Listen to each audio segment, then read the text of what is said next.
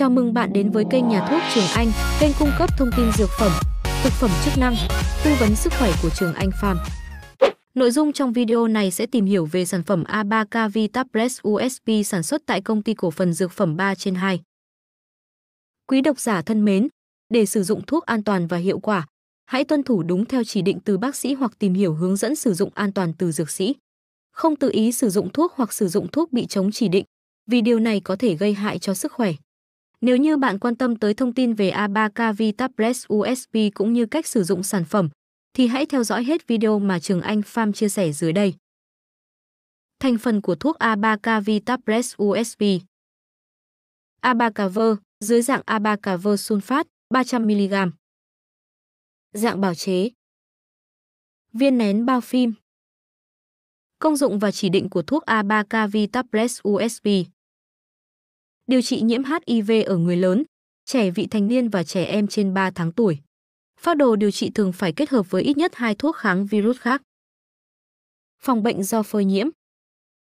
Chống chỉ định khi dùng thuốc A3K Vitapress USP. Dị ứng với Abacaver hoặc với một trong các thành phần của thuốc. Suy gan vừa và nặng.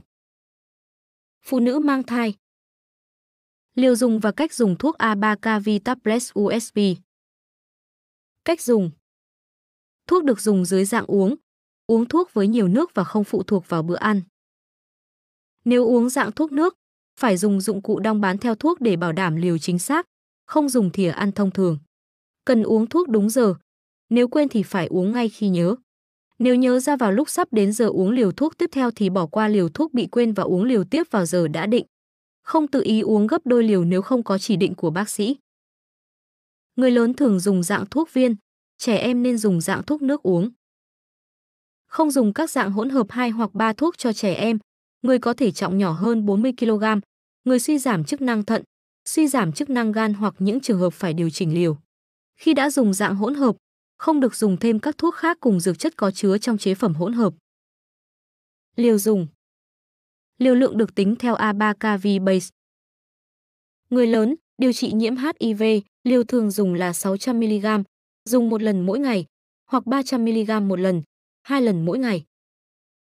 Dạng kết hợp hai thuốc, một viên mỗi ngày, Abacaver 600mg và Lamivudine 300mg. Dạng kết hợp 3 thuốc, một viên một lần, Abacaver 300mg, Lamivudine 150mg và Zidovudine 300mg, hai lần mỗi ngày. Dự phòng sau khi phơi nhiễm, không phải do nghề nghiệp, 600mg Abacaver một lần mỗi ngày hoặc 300mg Abacaver một lần, hai lần mỗi ngày, kết hợp với ít nhất hai thuốc kháng retrovirus khác. Trẻ em, điều trị nhiễm HIV, trẻ trên 3 tháng tuổi đến 12 tuổi là 8mg 1 kg một lần, hai lần mỗi ngày cách nhau 12 giờ, tối đa là 600mg một ngày. Với trẻ cân nặng 14 kg đến 21 kg, có thể dùng dạng viên nén, mỗi lần uống 150mg, nửa viên 300mg, hai lần mỗi ngày. Với trẻ cân nặng lớn hơn 21 kg đến dưới 30 kg, uống 150 mg, nửa viên 300 mg vào buổi sáng và 300 mg, một viên vào buổi tối. Với trẻ cân nặng 30 kg, uống 300 mg một lần, hai lần mỗi ngày. Trẻ lớn hơn 16 tuổi có thể dùng liều như người lớn. Bệnh nhân suy thận không cần phải điều chỉnh liều chót ruộng hợp suy thận nhẹ. Không nên dùng cho các trường hợp suy thận giai đoạn cuối. Lưu ý đặc biệt và thận trọng khi sử dụng thuốc A3K USP. Phải rất thận trọng khi dùng Abacaver, nhất là trong 6 tuần đầu, vì nguy cơ phản ứng quá mẫn, 4%, đôi khi gây tử vong. Phát hiện phản ứng quá mẫn thường rất khó vì dễ lẫn với một bệnh toàn thân. Phải ngừng ngay Abacaver nếu có các triệu chứng quá mẫn và không bao giờ được dùng lại. Người bệnh phải được theo dõi cẩn thận trong 2 tháng đầu điều trị, vì phản ứng quá mẫn có thể xảy ra bất cứ lúc nào. Người bệnh bắt đầu điều trị lại sau khi ngừng thuốc cũng có nguy cơ, kể cả trước đó không có triệu chứng quá mẫn. Do đó, cần khuyên người bệnh phải uống thuốc đều, không được ngắt quãng.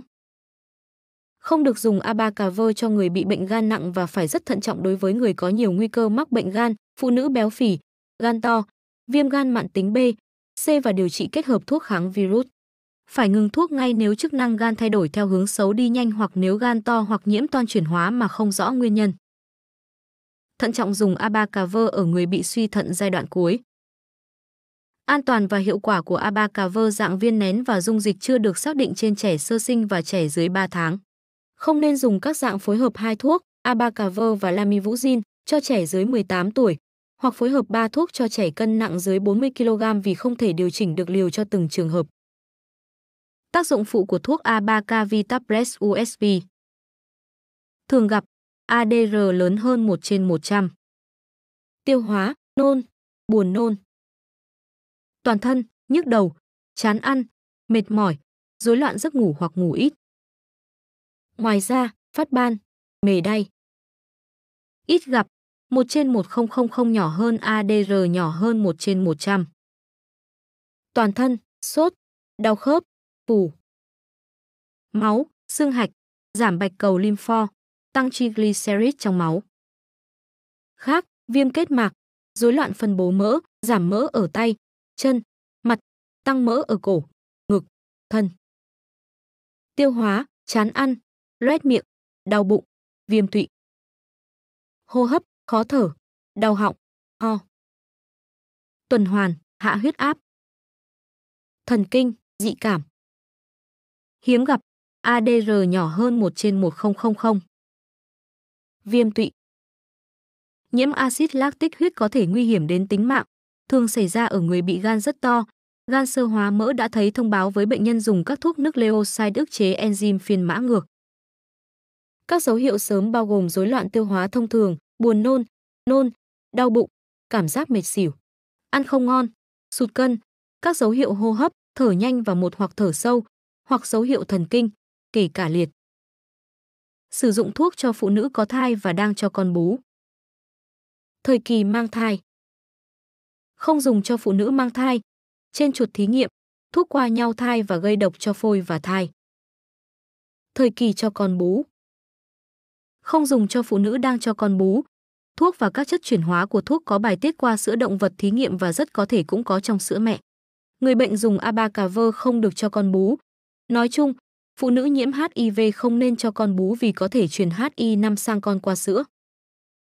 Hy vọng, qua những chia sẻ trong video này của Trường Anh Farm sẽ giúp quý bạn đọc hiểu rõ hơn về sản phẩm A3K Vitapress USB, đồng thời biết cách sử dụng A3K Vitapress USB sao cho đúng và hiệu quả. Nếu có thắc mắc khác, hãy liên hệ tới bác sĩ điều trị để được tư vấn kỹ hơn nhé. Hãy là người tiêu dùng thông thái trong việc sử dụng dược phẩm để đảm bảo sức khỏe của chính bạn và người thân. Cảm ơn bạn đã theo dõi video.